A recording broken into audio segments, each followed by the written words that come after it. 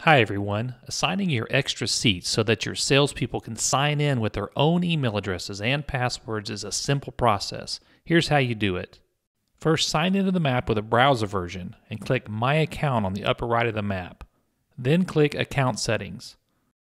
After you get to your account settings, click on the Team tab. This is where you'll manage your user seats and team members. You'll notice that I have five user seats and all five are assigned out to the same email address. As it stands now, I can have five people logged into my account with my email address simultaneously. A better way to set it up is to have your extra seats assigned out to different email addresses so that you can keep track of your salespeople individually. You can also put certain restrictions on your individual users so that they can see only their own markers and nobody else's. And you can set it up so that your individual team members can't make important changes to your account. Also, when you assign your seats out to individual email addresses, you can quickly clear any seat so that an individual can no longer get access to the system.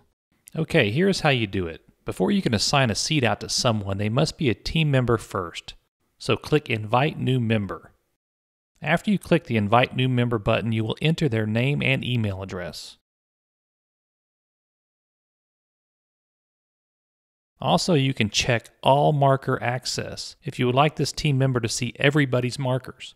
By default, this is unchecked, which means that the team member will only see his own markers. Keep in mind that as the administrator, you will see everybody's markers. And in the event that you have to reassign that seat to somebody else, those markers dropped by the previous team member will still be on the map. So, as the administrator, you still have access to all the intel put on the map by any team member. So now, after you've entered their name and email address and have clicked on Invite New Member, they will immediately receive an email asking them to create a password and then to accept the invitation. The next step for you is to assign that pending team member to one of your seats. So go up to the seat number that you would like to assign, go to the far right and click the left button under Action. Here, when you click the drop down next to Team Member, the email from the guy you just invited now shows up in the Team Member drop down.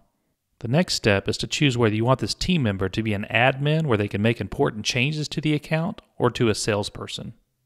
Okay, click Assign Seat and then you're done. As soon as your team member creates a password and then accepts the invitation, they'll be able to sign into their account using their email address and the password they just created. So go to the Team tab under your account settings to see how many seats you currently have and then start assigning those extra seats out to your team members. Right below your user seat list, you will also see a green button where you can add more user seats. Keep in mind that when you have an account with three user seats or more, you automatically get the contact data on demand, where you can tap a residential roof to get names, cell phones, and email addresses.